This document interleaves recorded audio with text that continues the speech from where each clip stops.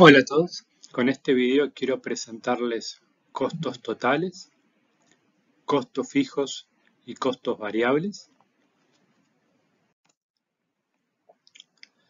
La relación viene dada por esta ecuación, los costos totales son iguales a los costos fijos más los costos variables.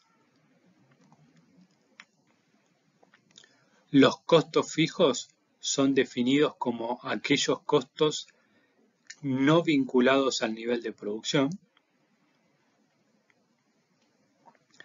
y los costos variables son definidos como aquellos costos vinculados al nivel de producción. A modo de ejemplo, y siempre hay que tener presente cuál es el proyecto que estamos evaluando, o cuál es el nivel de producción que vamos a afectar.